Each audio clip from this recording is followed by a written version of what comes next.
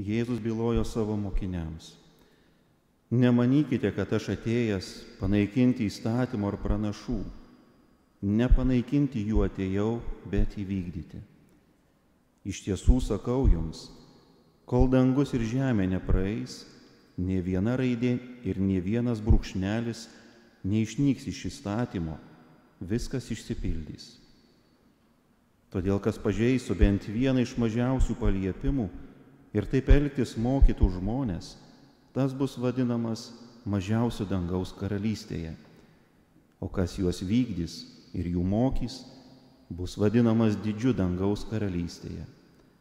Taigi sakau jums, jeigu jūsų teisumas nebus tikresnis už rašto aiškintojų ir fariziejų teisumą, jūs neįeisite į dangaus karalystę. Girdėjote viešpatie žodį. Šlovė tau, Kristau.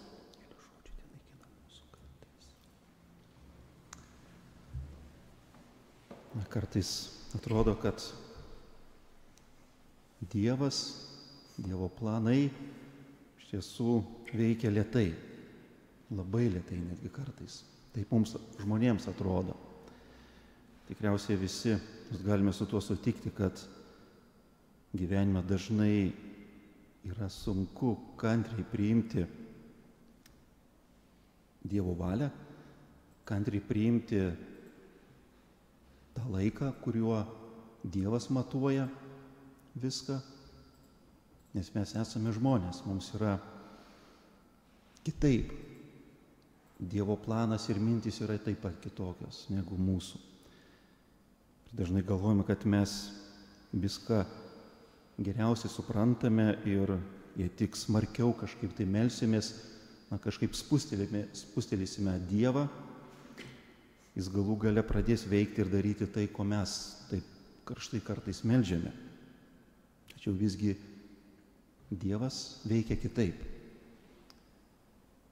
Šios dienos Evangelija mums duoda progą pamastyti apie Dievo veikimo būdą. At jo veikimas iš tiesų žmogaus požiūrių žvelgiant, jis yra lėtas, bet jis yra tvirtas ir tobulas. O čia net mes girdime Jėzų kalbant apie įstatymą ir pranašus. Ir jisai sako, kad jis atėjo nepanaikinti, bet įvykdyti jų. Ir tai yra tiesa. Ir dėl to verta pamastyti, kaip tai vyko. Ir tai vyko per eilę tūkstančių metų. Reikėjo iš tiesų ilgo laiko, kad atsiskleistų va, visas šitas tobulas Dievo planas. Ir jisai atsiskleidžia pagal Dievo mintį ir pagal jo planą, taip kaip jisai yra pramatęs. Tikriausiai ir Seno testamento laikų žydai, jie taip pat nekantri laukia ateinančio mesijo, kad jis išpildytų visą tai, ko jie taip su tokiu ilgesiu laukė. Pranašas po pranašo ėjo per istoriją, tėjo ir nuėjo nuo pasaulio dramos scenos ir jie visi rodė į mesiją. Seno testamento įstatymas iš tiesų ruošia Dievo tautą mesijo ateimui.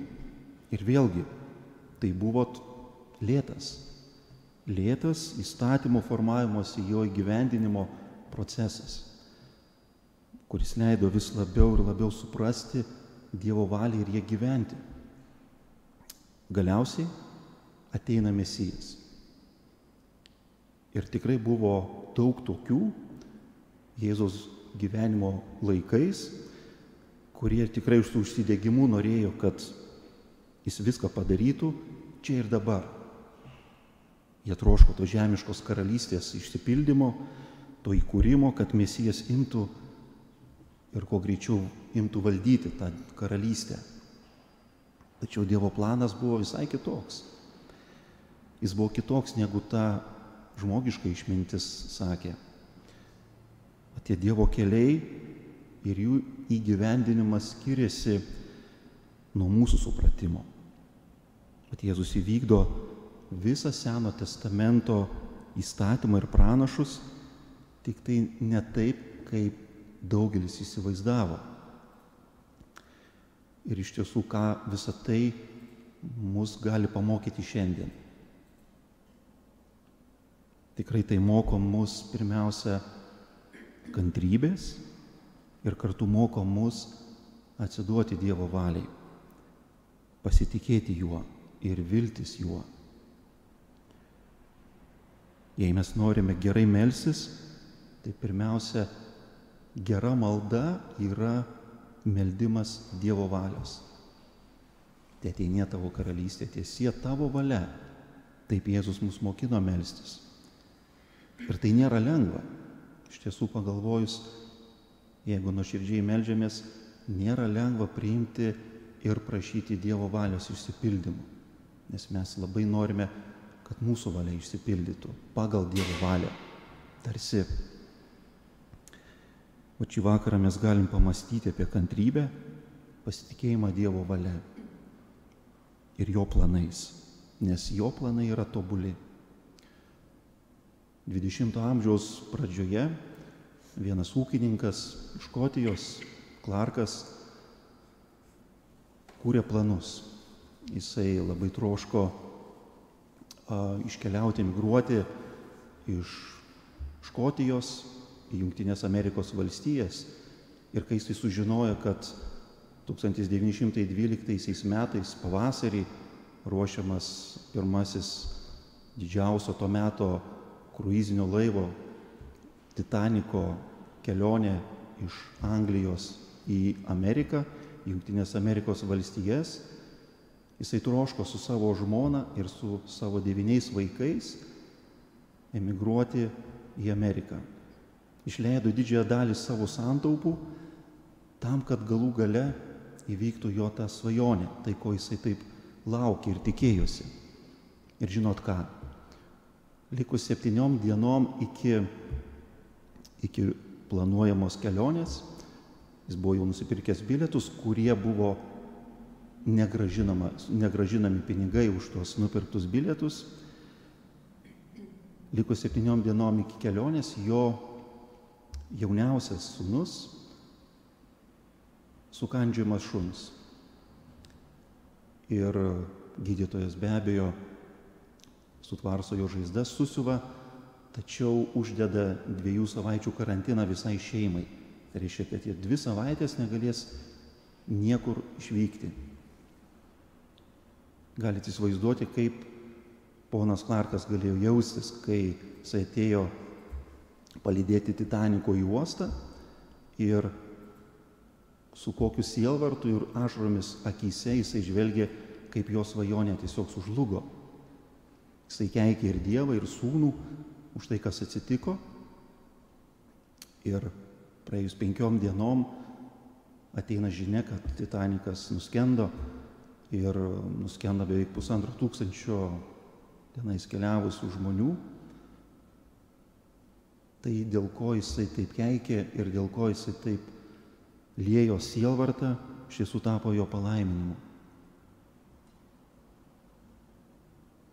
Kartais mes planuojame, bet mūsų planai keičiasi. Mes galim planuoti daugą, tačiau Dievas gali pakoreguoti pagal savo planus. Taip kaip upė turi tikslą nukeliauti į jūrą, pasiekti tikslą, jinai peina visas kliūtis. Jinai nes, neužsikerta kažkur tai neužstringa, bet kokios bebūtų kliūtys vanduo sugeba apeiti. Prisitaikyti prie esamos situacijos mums reikia to paslankumo, to lankstumo. Priimti tai kartais, kad ne visi mūsų norai, troškimai, planai, idėjos, svajonės gali išsipildyti. Melskime, kad mes priimtume Dievo valią ir išgyventumėm šitą laiką su juo kartu ir priimtumėm ir melsumėmės, kad įvyktų Dievo valia. Amen.